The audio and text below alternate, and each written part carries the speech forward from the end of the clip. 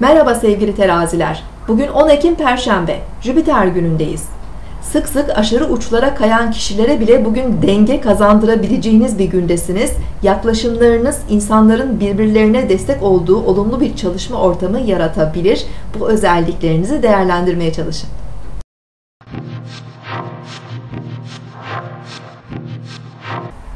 Burcunuzu dinlediniz. Bugün 10 Ekim Perşembe. Jüpiter günündeyiz.